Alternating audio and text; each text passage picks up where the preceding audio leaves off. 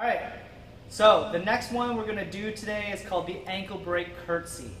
So what I want you to do is you're gonna get into what we call full inversion of your ankle like so. Then what we're gonna do is we're gonna take our other leg and we're gonna come all the way across like this. All right, and then we're gonna come back and we're gonna do that all over again. What I want to do is I want you to make sure that you're putting most of your weight into the ankle break um, leg, right? So again, I'm going to come up and I want to try to be up here as long as possible and then come back down. Again, it's come all the way up, hold it as long as possible, and then come all the way across. I want you to do that on both of your ankles.